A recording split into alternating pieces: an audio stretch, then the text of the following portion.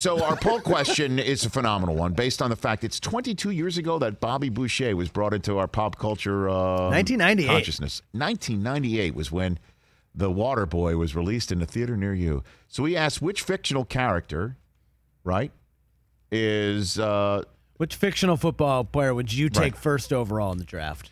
So we figured, you know what, we've gone back and forth right now. Who's currently leading the poll? Right Bobby Chris? Boucher is leading the way, 45%. Well, we figured why don't we ask an actual football talent evaluator of the first variety of this question?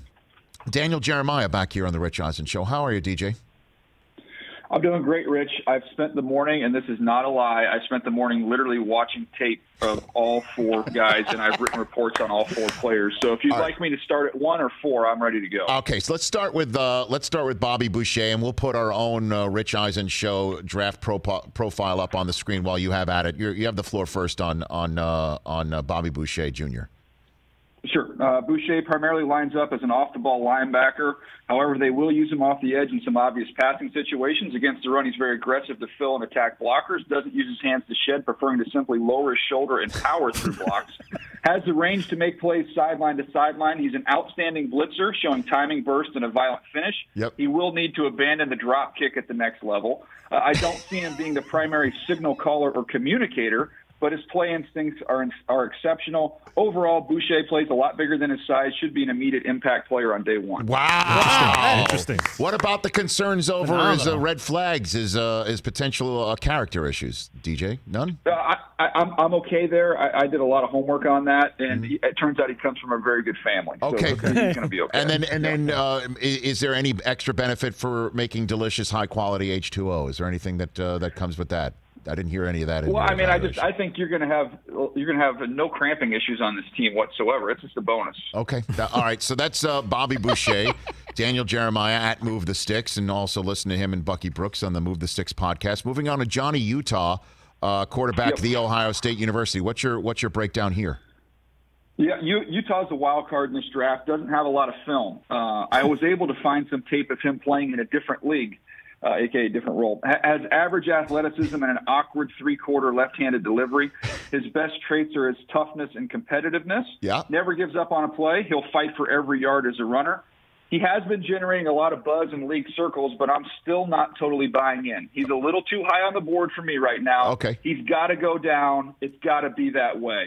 Uh, I would consider hiring him after his playing days are over. He Okay. could have a long career associated with the game, either an outstanding coach, a prominent scout, or a special agent. Okay. Now that's the question that we had. That's our red flag. Is we're wondering if he's committed to football, or is law enforcement perhaps getting in the way of his commitment to to to the craft?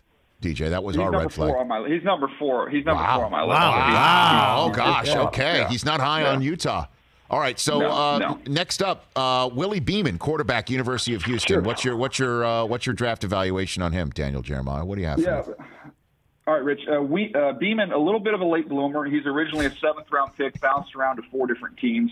Uh, he's since settled in and emerged as a dangerous playmaker as both a passer and a runner. He has quick feet in his setup, a smooth motion. The ball jumps out of his hand.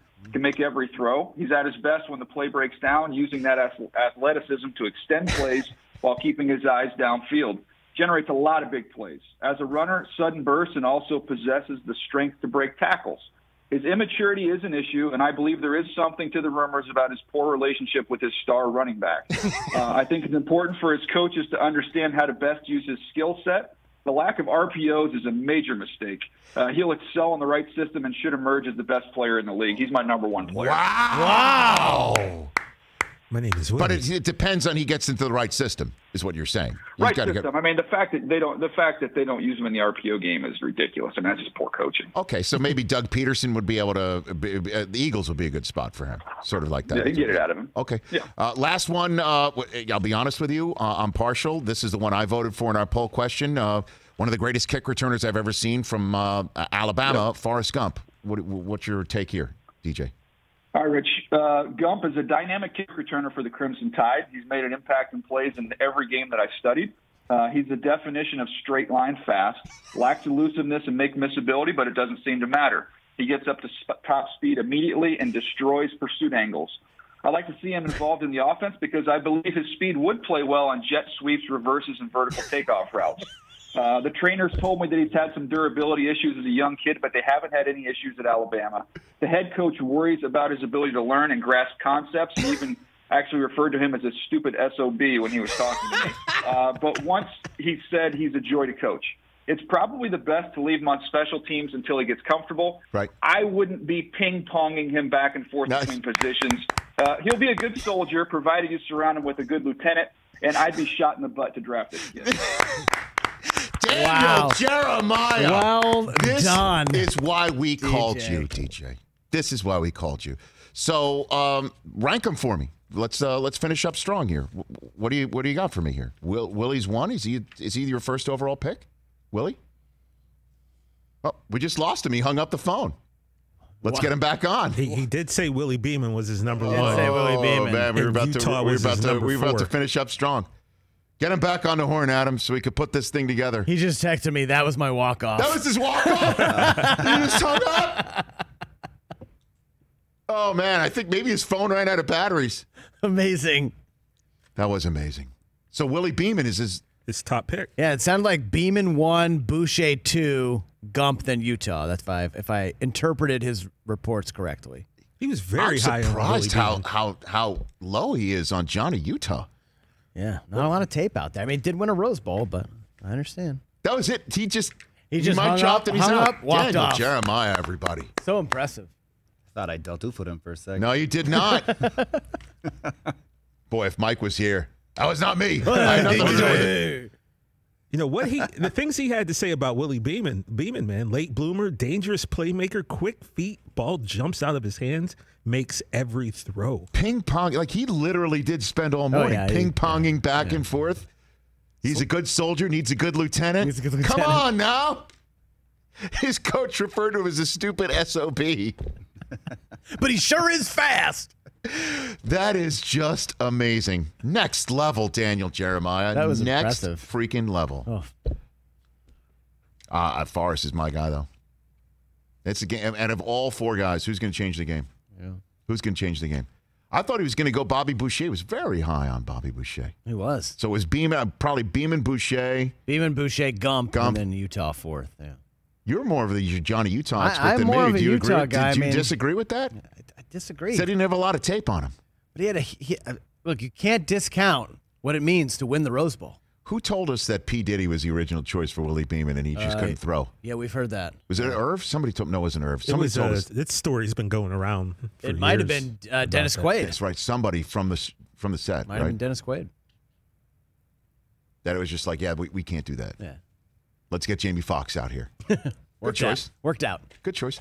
Uh, 844-204-RICH is the number to dial. Uh, ready uh, for your news update, Christopher? I am. because uh, Eddie Olczyk's going to be part of it, and he's going to make some cash for us. Let's okay, go. for the Breeders' Cup Classic that's coming up hour three, and Jeremy Piven.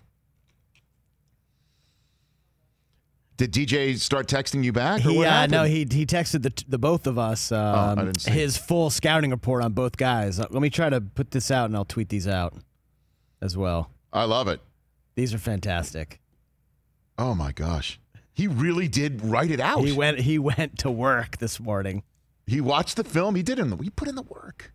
That's why I love Daniel Jeremiah. now, if I had done that with Mayock, he'd have been like, "Who the hell are these guys? Yeah, Why the hell are you calling me?" Well, yeah. you, you yeah, called the right guy. Mayock's never seen any given Sunday. Uh, no th- chance. By the way, yeah, our graphic is dead on with Forrest. Questionable Wonderlic, tends to daydream. Straight line runner only. He's not evasive. Straight line runner. But the- the jet sweep. Hey, Forrest on a sweep. jet sweep, and then what he would have to do is he'd run straight at the at the And then they'd sideline. Everyone's like, run that way. that way. and then he'd have to. turn. Destroys so you'd have, pursuit you'd have to run. Hold on a second. You'd have to run the jet sweep only to the Alabama side. Right. Yeah. Because he just would run No, yeah. straight out of bounds. He if he just- ran it to the Yeah, no. LSU side, they'd basically come on. Here we I go. mean, remember he did a Bo Jackson. He ran right under the tunnel after Oh, my scoring. one. gosh, And then they had to put up the stop sign. That's right.